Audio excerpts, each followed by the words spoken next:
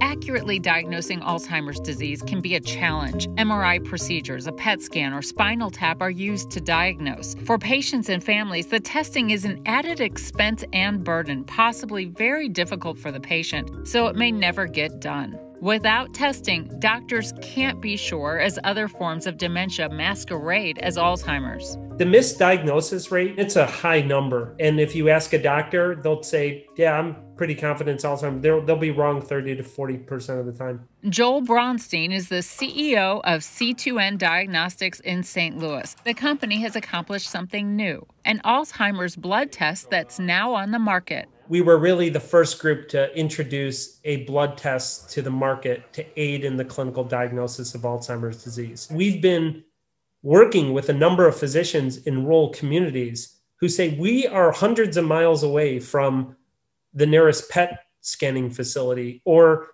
we really don't engage in frequent cerebral spinal fluid sampling. The availability of a blood test that the patient can take conveniently without having to travel a long distance is very appealing. The blood samples are processed at C2N's lab. Dr. Randall Bateman, professor of neurology at Washington University School of Medicine in St. Louis, is a scientific co founder. It's going to represent a different kind of way that we do clinical research, the way we recruit patients for trials, as well as uh, patient care in terms of how we diagnose people who have memory problems. The blood test called Precivity AD is a result of Dr. Bateman's research with Dr. David Holtzman at WashU. The test that we provide, the Precivity AD test, is intended for people who are presenting with these early cognitive abnormalities for use in individuals over the age of 60. The blood test measures levels of amyloid beta protein. The proteins clump together to form amyloid plaques in the brain, the first sign of Alzheimer's disease. The real breakthrough was being being able to measure two analytes in particular, amyloid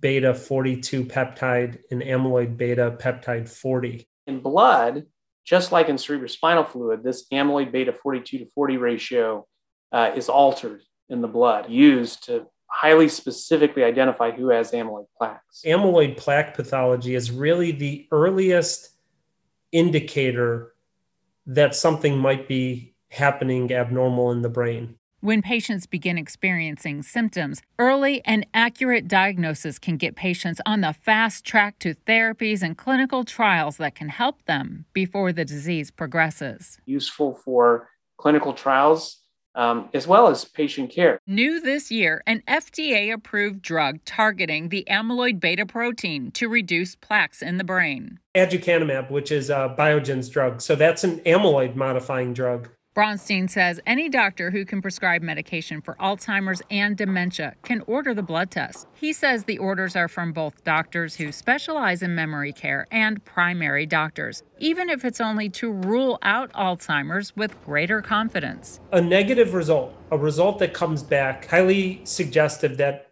Alzheimer's disease is not present, would should compel a physician to say we're now going to look for other causes of the cognitive impairment. And the reason why that's important is because there are some forms of dementia that can be readily treated.